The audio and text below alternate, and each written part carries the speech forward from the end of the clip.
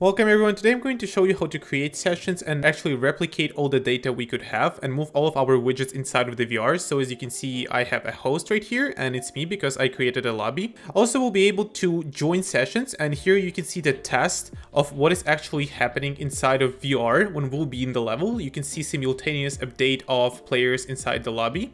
So let's go ahead and implement this. Please guys, make sure you also subscribe in the channel and leave a like under this video because I'm putting all my efforts in YouTube guys and I'm actually the one who is giving you all the juice and how to make everything unique in your VR game including multiplayer that no one is talking about. I'm the one who is discovering it, who is putting all of the efforts into the development and actually sharing my experience with you. And also I published at least one video on my Patreon and now it's regarding guns and it will be more regarding multiplayer. So make sure you also check my Patreon. I'll leave the link under the description and if you want you can go ahead and subscribe later once there are more videos or you can go ahead and subscribe it now.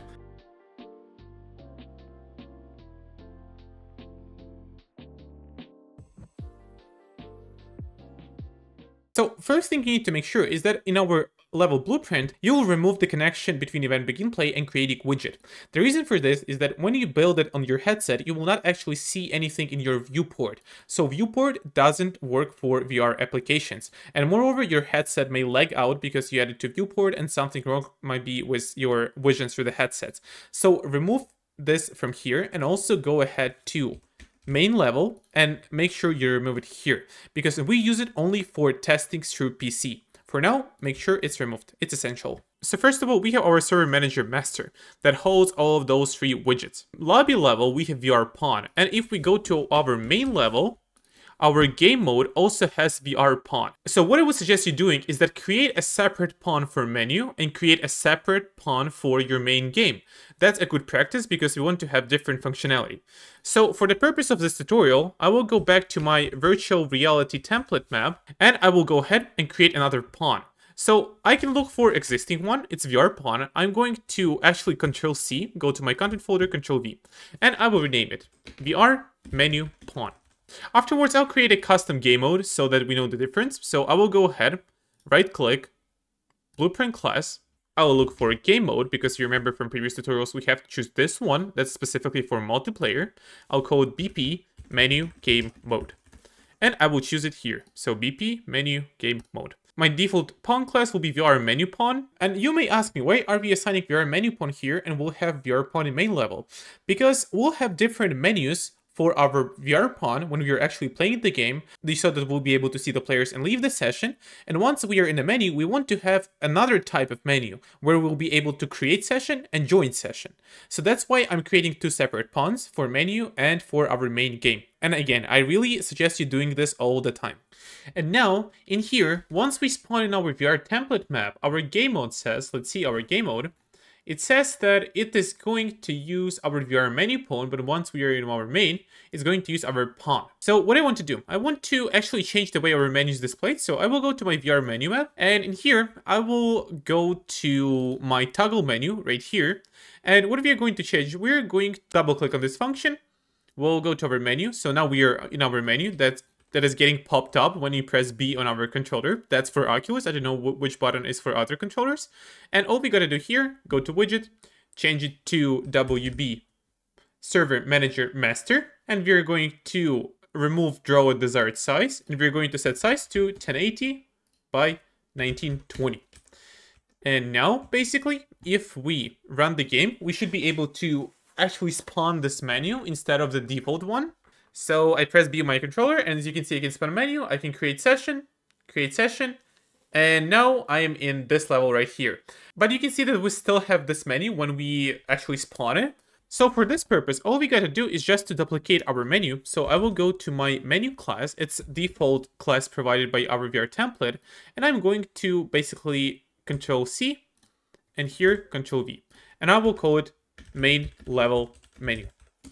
And all I gotta do here is to change our widget to our WB player list and leave so that we could have this widget right here. And let's change the draw size to 1920 by 1080 like this.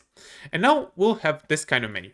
Afterwards, we'll go to our VR pawn and I just remind you we're using it in the main level and I will change its toggle menu to spawn a different class and it's going to be our main level menu, this one. Let's hit compile and save. Afterwards, we're going to change our menu reference to main level menu, change variable type. And here we're going to promote it. And here we're going to use this pin right here, close menu on is valid node. Let's hit compile. So everything compiled. Let's actually come back to the level and try to do exactly the same to perform exactly the same test as we used to. Here, I'll create a session for two people. And here, now I have this menu. I know, guys, it's a little bit big. You can play with the scale of your menu in your uh, game, but I'll leave as it is. So I have basically a leave button and I have a player list. But as you can see now, we don't see ourselves in our player list because we need to update it in a little bit different way. So I will leave it and I'll close my game. So the first thing we can do, because once you remember, when we spawned here, we didn't even see ourselves in the menu.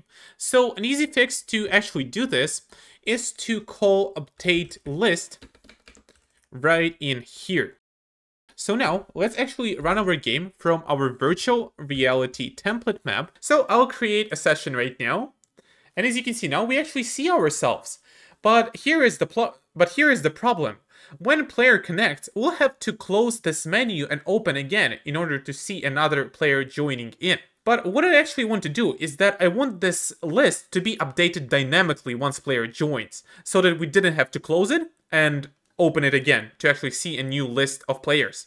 So that's what I want to do now. And in order to do this, let's actually go to our game state. So I will look my main game state. That's the one that is assigned in our game mode inside another level, inside our main level. So I will open it and we'll need to play with this function. But here is the problem. We update list only on the widgets on the viewport, but we are not actually updating this list when it's a separate actor for now, I will just break this pin because we are no longer working with our widgets on the viewport. So here we're going to get actors of class and make sure you will choose actors, not actor. We need all of the players that are currently in the level in our multiplayer. And we're going to look for our VR pawn. Since in our main level, where we actually allow players to join, we have default pawn class VR pawn. Therefore, all the players we see right here are of type VR pawn. So we are looking for VR pawn right here.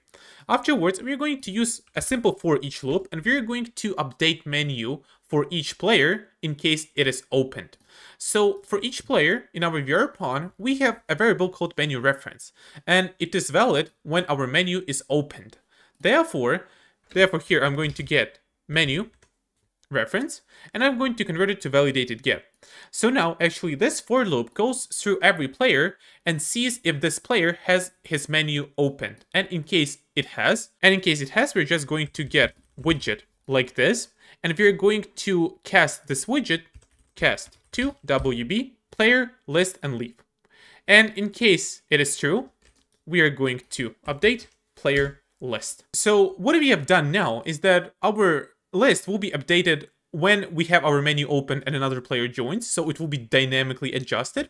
And now let's go ahead and I will show you how to actually test it, because we need actually to make sure it works. Because how we can say that it will definitely work for another player if we haven't tested it. So the way we're going to test it is that I'll go to my VR pawn, and in here I'll just steal this toggle menu function and I'll put it here.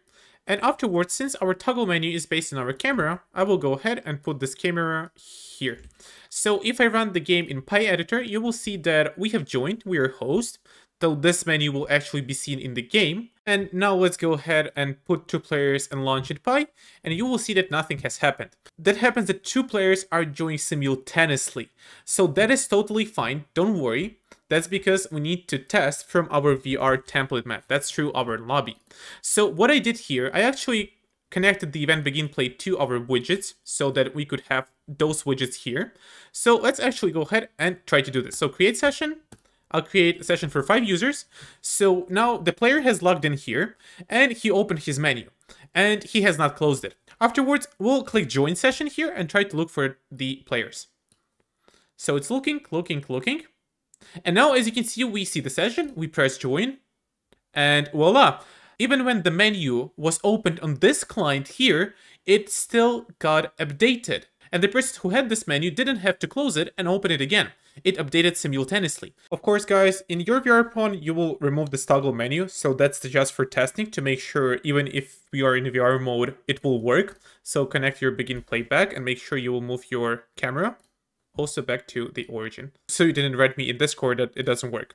Uh, and also in your lobby level, so VR template, uh, let's go to this map, we'll also remove this event begin play here. So now you will actually have a logging capabilities in VR and replication in your main level will also work in VR. Hope you guys understood everything today. If you have any questions, make sure you'll drop them in the comments. I'm happy to answer every question. I don't miss any of your comments, so please be sure to ask me any questions. Any tutorial ideas are fine and see you in the next one.